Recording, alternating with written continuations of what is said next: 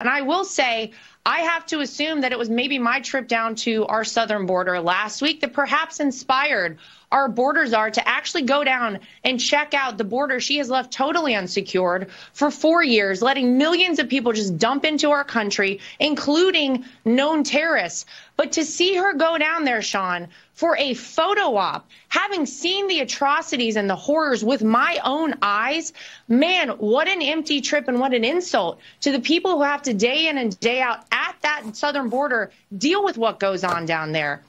It is really horrific well, to see. You said it. If she wants to get something changed, go over and talk to Joe Biden and strong arm him, just like you strong armed him out of the race for president, and tell him to actually implement the laws as they're written on the book, Sean. But we know she will not do that.